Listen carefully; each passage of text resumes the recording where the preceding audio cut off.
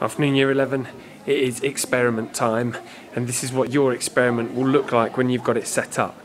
First, you've got a red trolley. You have got a meter ruler set out along the desk. You have got a pulley attached to the desk, and then attached to the red trolley, we've got a string, and then on the other end of the string, you have got some masses. Now, before you do anything, uh, it's worth saying that the trickiest part of this experiment is getting the string the right length. So let me tell you about that first.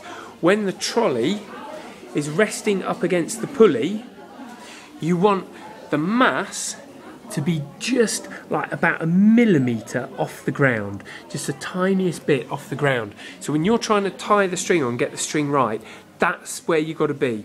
Trolley resting against the pulley, masses about a millimetre off the ground, and then you've got, got it at the perfect length. Right, so the experiment is dead simple. Um, somebody in your group will pull the trolley back to 50 centimetres. So you go from the front of the trolley at 50 centimetres. Then they will do a countdown right, from three. And when they let go of the trolley, another member of the group has got to start a stopwatch.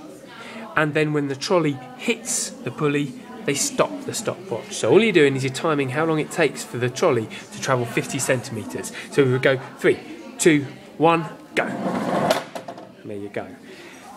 Then all you are going to do is you're going to repeat that experiment. But each time you do the experiment, you're going to add 500 grams. So then you go back to 50 centimetres and you time it for the 50 centimetres again, then another 500 grams, another 500 grams, another 500 grams, another 500 grams.